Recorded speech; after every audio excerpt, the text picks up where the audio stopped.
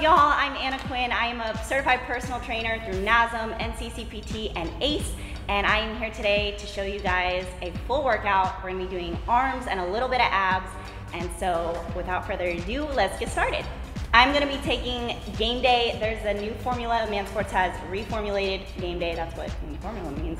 Uh, but it also has a nootropic now. So one of my favorite products from Man Sports has been Brain Bridge for a long time. I tell people it's basically like brain vitamins, but it has natural caffeine and it's just a really steady energy boost. So instead of feeling jittery and cracked out, you feel it just feels good. All right, so now that we got our pre-workout, let's get started.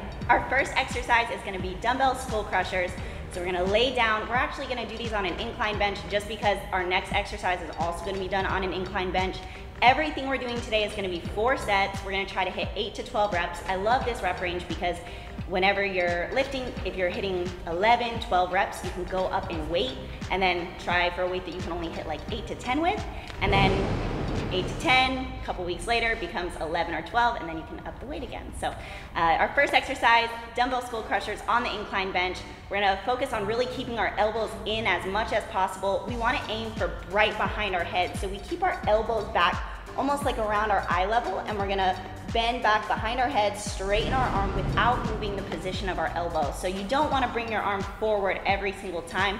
Keep your elbows in the same space and only just focus on bending that arm, straightening it out, and really squeezing your elbows in and squeezing your triceps as you perform the movement.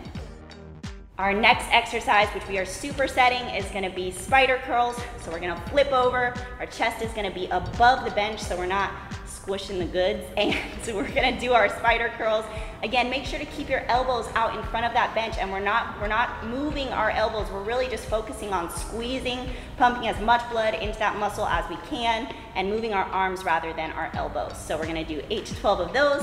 Um, I like to stay a little bit on the higher rep range, so 10 to 12 uh, with biceps just because I feel like I get a better pump. In between these supersets, you can rest like a minute to 90 seconds, 60 to 90 seconds, and then go back and start the superset again. Your muscles don't really need that much rest because since we're doing triceps and biceps here, your triceps are resting while you're working your biceps, and then your biceps are resting while you're working your triceps. So just give yourself a minute, maybe 90 seconds to catch your breath, and then go ahead and start back with your next set.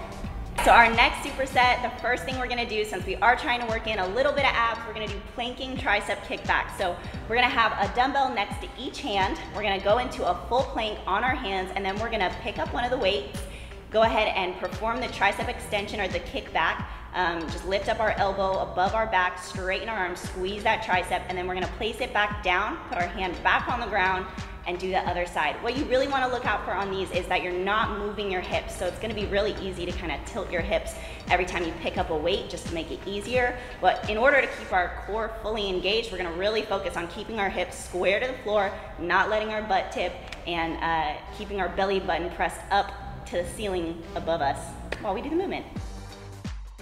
Then we're gonna stand up and we're gonna do alternating uh, bicep curls. So we're gonna go up into a hammer curl, rotate and go down with a supinated curl, and then we're gonna switch. So we'll go up in a supinated curl, rotate, down in a hammer curl. And we're actually gonna add something in. You don't have to do this, but this is optional just to add a little bit of core engagement. We're gonna do half of the reps on one foot just to balance, and this is actually gonna make us engage our core a little bit more. We're gonna try not to lean any direction, and then we're gonna switch legs and do the other half on the other leg. So just balancing this adds, it just makes move a little bit more advanced and adds a little bit of core engagement. And our final exercise, our last superset, we're gonna do uh, EZ bar, narrow grip curls. So we're just focusing on really keeping our elbows in front of our body, squeezing that bicep as we lift the weight up, not letting our elbows drop back behind us because after that, after our 8 to 12 of those, we're gonna immediately go into drag curls. So we're gonna kind of angle our body forward. We're gonna pull the bar up our body so it's dragging on our bodies, hence the term drag curls. And we're gonna do 8 to 12 of those, basically just to get a little burnout for our biceps. Um, and then we'll rest 60, 90 seconds. You might need to rest a little longer for these since both exercises are hitting the bicep. And then we're gonna go ahead and repeat the movement.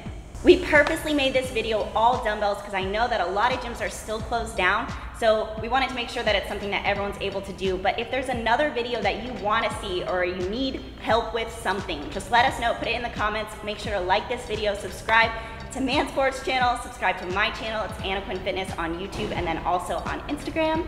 And yeah, we'll see you next time. Thanks, y'all. Bye.